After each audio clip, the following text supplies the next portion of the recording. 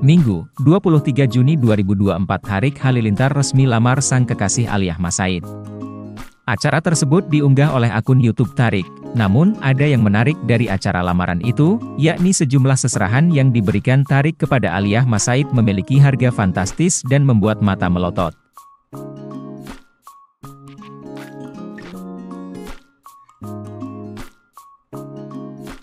Seserahan itu berupa tas Chanel warna beige dan alat kosmetik serta voucher senilai 500 juta rupiah. Tas Chanel itu diberikan Ibunda Tarik, Lenggogeni Faruk.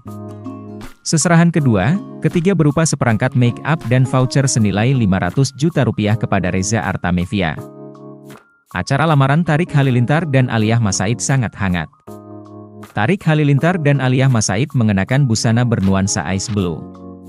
Aliyah Masaid terlihat anggun dalam balutan kebaya dan sanggul modern. Sementara Tarik Halilintar tampil gagah mengenakan beskap berwarna senada.